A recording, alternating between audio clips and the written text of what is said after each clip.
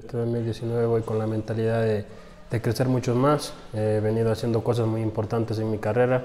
Eh, me he propuesto hacer las cosas de la mejor manera en mi club, eh, tratar de clasificar a, los playoffs allá en MLS, eh, que es el propósito de equipo, en lo personal. Trabajar, trabajar muy duro para seguir siendo tomado en cuenta en la selección, en los partidos amistosos que se vienen y, y lo más importante que será este año, la Copa América. Contento, creo que eh, he tomado una buena decisión en llegar al club.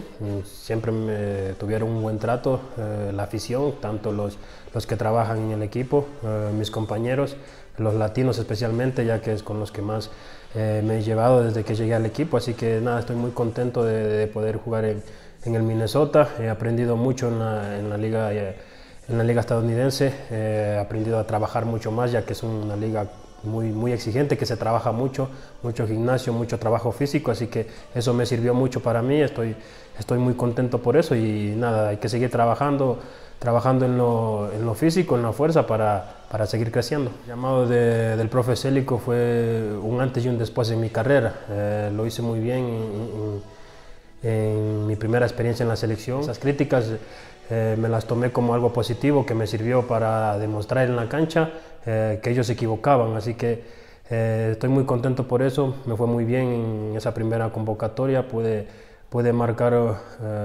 un gol en el debut, en el segundo partido, que fue muy importante para mi carrera y como dice, me sirvió mucho para poder jugar en el exterior esa experiencia en la selección. El compartir la selección con, con mi hermano es lo más especial que me ha pasado en, en mi carrera, creo que eh, eso no lo compararía con, nada. Eh, y no hay más motivación que esa, poder seguir estando representando al país eh, con mi hermano, hacer sentir orgulloso a, mi, padre, a, mi familia. Creo que no hay mejor cosa con eso, siempre estamos en contacto con él, tenemos una relación muy buena. Eh, siempre me está dando consejos, ya que él tiene un poco más de experiencia que mí, sabe, sabe más cosas, así que siempre estamos en contacto con él. Me dice que, que trabaje duro, que estoy haciendo muy bien las cosas hasta ahorita, que, que no cese, que siga trabajando para seguir viviendo estos lindos momentos. Mis, sueños en, el fútbol siempre son jugar en Europa y, jugar un mundial. Creo que son los, los, sueños que he tenido siempre de, de niño. Eh, espero con trabajo, eh, paciencia, dedicación poder cumplirlos. Eh, cuando juegue un mundial o juegue en Europa podré decir cumplí lo que siempre quería en el fútbol y podría retirarme tranquilo. Decirle a toda la afición que, que, apoyen, que el grupo está muy comprometido. Se pudo ver en estos últimos partidos, creo que el grupo está muy unido. Eh, lo que falta es que se una la gente. Eh, con su apoyo pues, vamos a lograr grandes cosas.